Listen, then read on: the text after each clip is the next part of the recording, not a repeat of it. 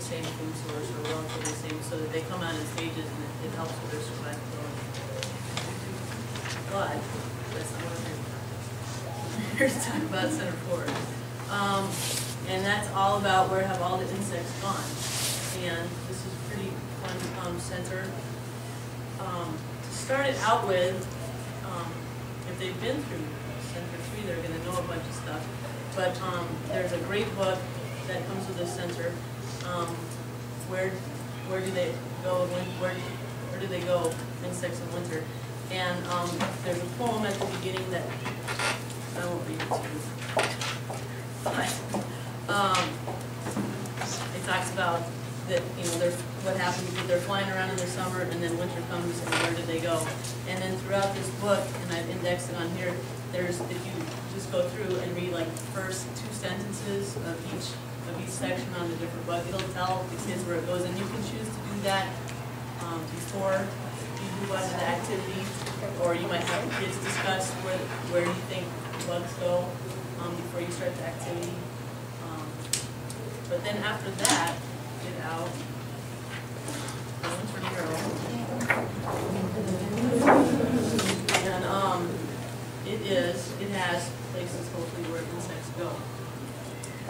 And you get out. Oh, there's also this, um, where did they go?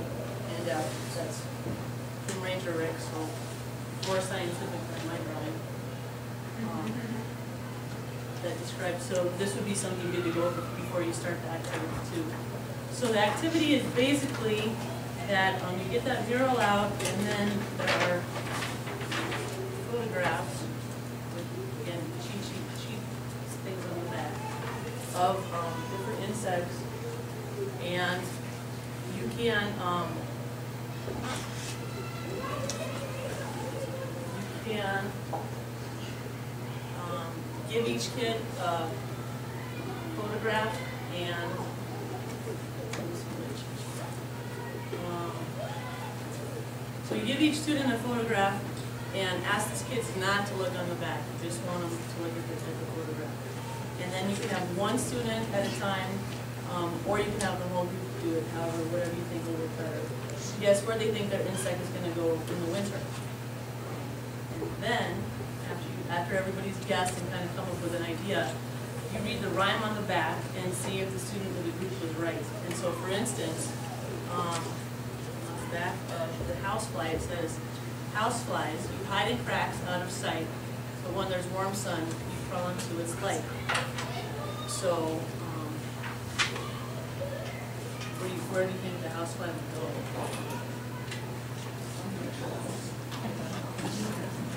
Right, on the house. That was too easy. Um, It's been a long day. So then there's like, there's grasshopper. um, Read them, Emmy, read them. Okay. Oh, I guess everybody has the outline. Grasshopper eggs were laid under grass to be snug under snow until winter is past. So, there's some little grass over here. Um. Oh, here. Ladybug, ladybug, where have you gone? To hide under the leaves near summer's last corn. Did not draw any corn on here, but there's leaves. Those are leaves, for anybody that's not sure. So on and so forth, so until you've got with this blue tape, your whole poster taped up with all these really cool um, pictures of different, this is a praying mantis. It's an egg case. Egg case, sorry, yeah. Um, Bears. There you go. For all you fly fishermen out there. Dragonfly nymph. Well, that's an adult dragonfly, but the nymph, the like wintering part. See, it has been a long day. Honeybees, ladybugs, a little firefly. And the grasshopper. I think that's all of it. So,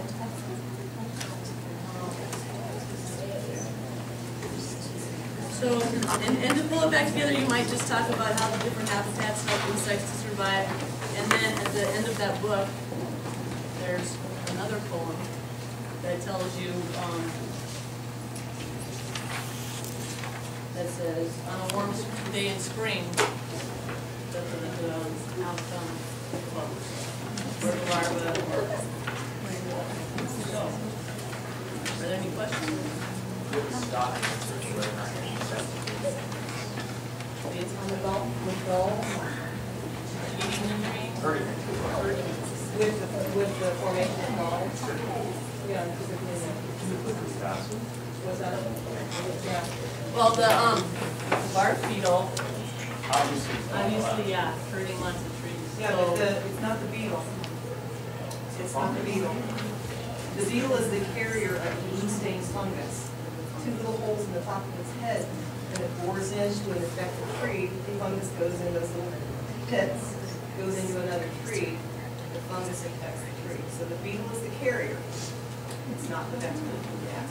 Yeah. So all that I only speak for the beetle. so all that boring it does, the tree could survive without that fungus? It does when the fungus is not present. The fungus appears when there's stress in the forest, which can be caused by overgrowth, drought, uh, extreme high temperatures, even if you do have enough water. Um, The, the key thing in Colorado and in most places in the west is the lack of fire to reduce the overcrowding in the. Yeah.